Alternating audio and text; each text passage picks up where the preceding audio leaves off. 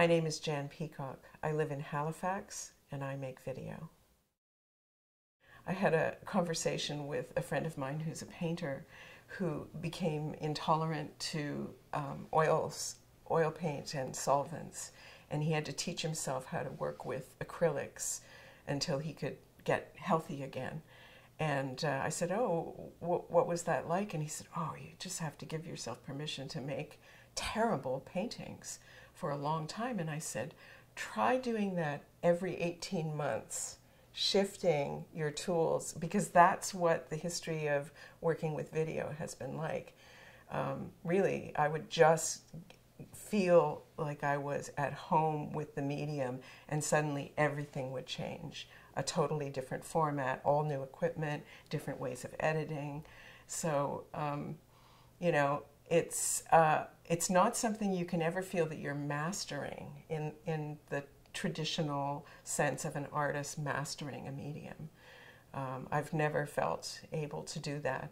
And I think that too has given me a weird kind of permission to, you know, like, no, there's, there's nothing authoritative here because it's constantly in flux and constantly evolving. So um, I think there's just as few rules now as there were when I started.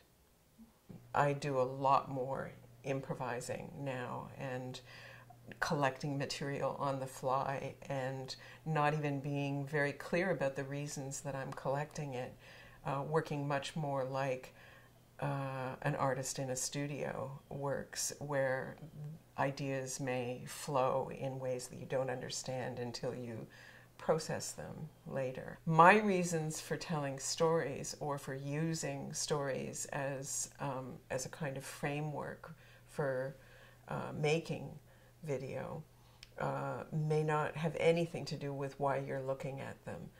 My reasons may go into very abstract territory about what are the constituent elements of a narrative and how few of them do you need to actually make someone feel as if they've heard a story. You may not have told a story, but there is a situation um, that evolves through time that that in in some manner may remind you of